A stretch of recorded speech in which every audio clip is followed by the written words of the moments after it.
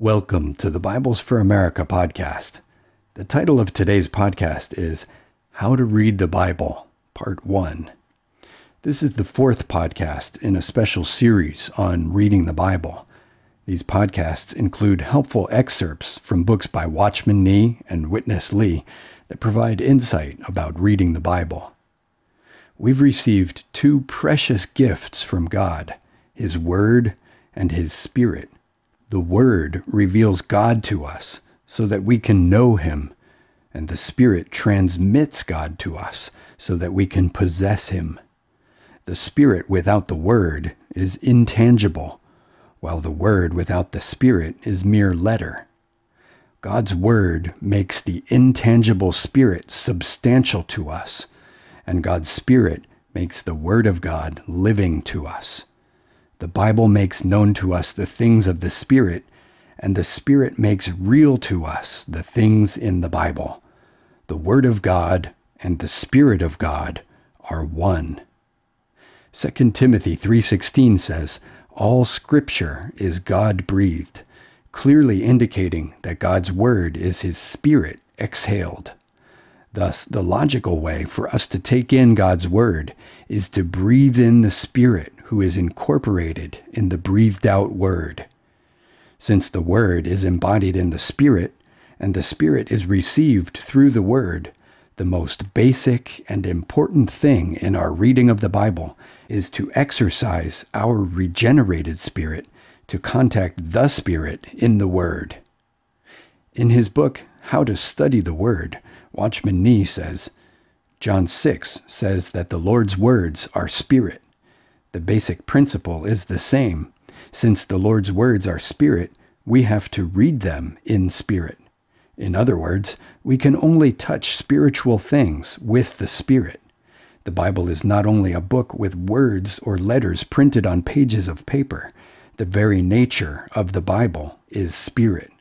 For this reason, everyone who reads this book must approach it with his spirit. It must be read with the Spirit. Ephesians chapter 6, verses 17 and 18 tell us to receive the helmet of salvation and the sword of the Spirit, which Spirit is the Word of God, by means of all prayer and petition, praying at every time in Spirit, and watching unto this in all perseverance and petition concerning all the saints.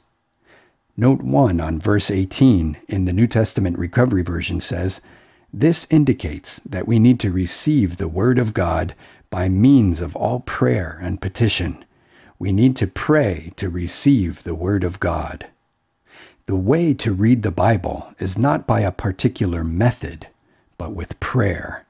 By prayer, we exercise our spirit. When we pray properly, we exercise our spirit. We are in spirit, and we touch the divine spirit since the same Spirit who dwells in us is also contained in the Scriptures. Whenever we read the Word with a prayerful spirit, we enjoy the riches, receive the enlightenment, and appropriate the power in the living Word of God.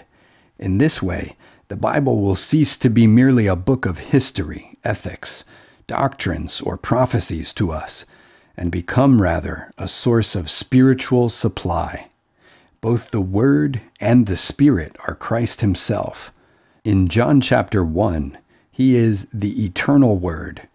In Revelation chapter 19, verse 13, He is called the Word of God.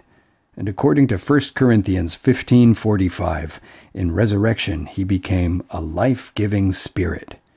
Christ is therefore the reality of the word and the person of the spirit. Each time we open the Bible, we must be conscious that we are approaching Him. We are not only reading His Word, but also communing with Him as the Word. In John chapter 5, verses 39 and 40, the Lord Jesus reproved the Jews for searching the Scriptures without coming to Him, that they might have life. His message was clear reading the Bible without coming to the Lord Himself can be an empty pursuit. The knowledge of the Word alone, however precious, should never replace our receiving of Christ as life in the Word. Although we should read the Word of God primarily for the nourishment of our being and not the gratification of our intellect, we must apply our renewed mental faculty, a mind under the rule of the Spirit, to understand the Scriptures.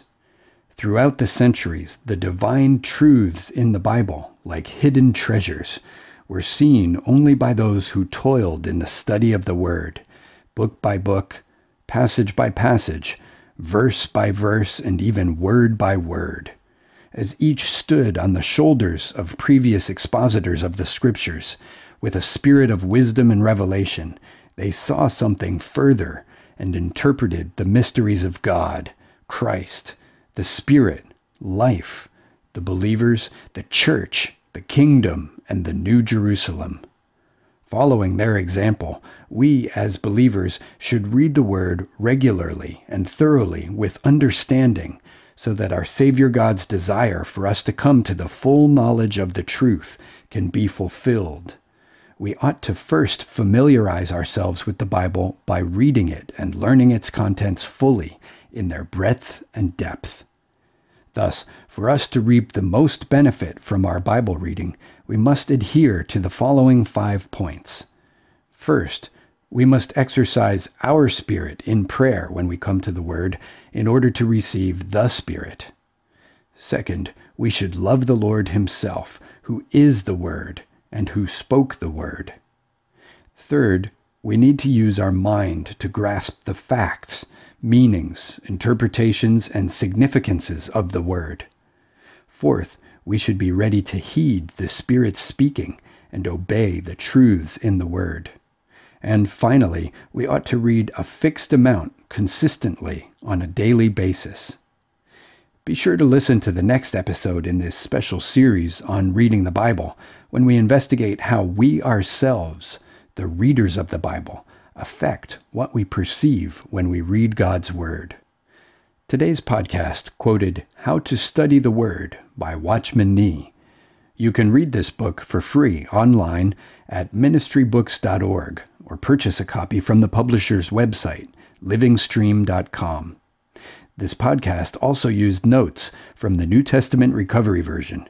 You can order a free copy of this study Bible at biblesforamerica.org. To listen to more podcasts, visit BiblesForAmerica.org and click on the Media tab, or subscribe to the Bibles for America podcast on iTunes. Thanks for joining us. Until next time, grace be with you.